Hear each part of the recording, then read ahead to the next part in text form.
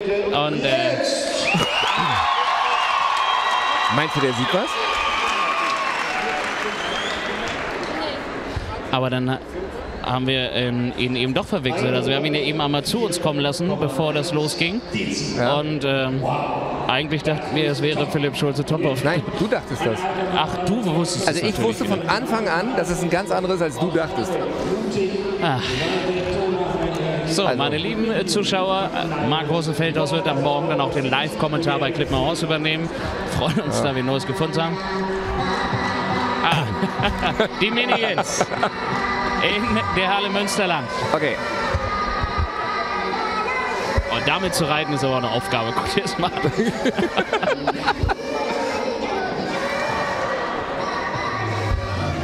gewinnt vielleicht nicht, aber hat am meisten Spaß. Ja, auf jeden Fall. Und vor allem, auch wenn du einen kleinen Bauch hast, das sieht keiner. Ja. Vielleicht solltest du das mal tragen. aber hier hinter. So, Marc Rosenfeldhaus, schön, dass du da warst. Ähm,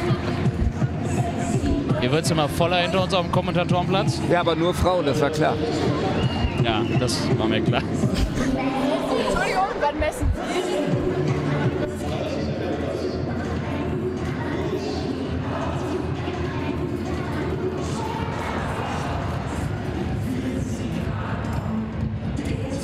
Also wir werden hier schon wieder von gut aussehenden Frauen belagert und wir sollen irgendwas messen.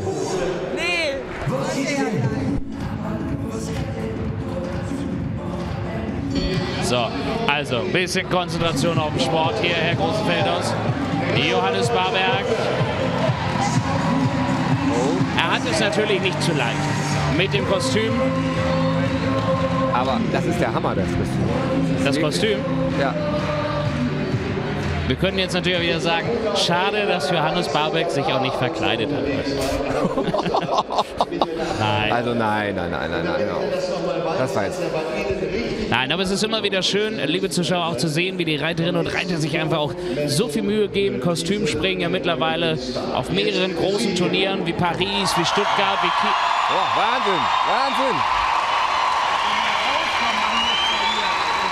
Ich ähm, wurde je unterbrochen in meinem Satz. Also das war ein Orkan. So.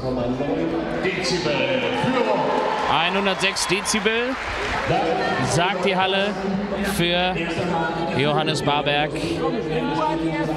So, jetzt kriegt er ein bisschen Hilfe am Eintritt, ne? Ja, ja, ja. ja. Aber ich, Hallo.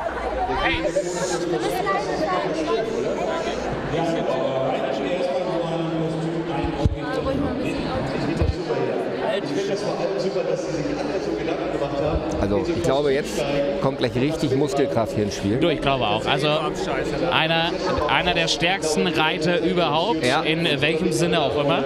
Vor allem, der bringt auch Farbe mal hier ins Spiel. Das Ja, das glaube ich auch.